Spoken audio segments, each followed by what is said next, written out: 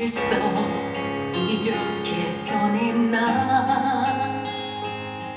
어느새 하나 둘씩 새겨진 지난 세월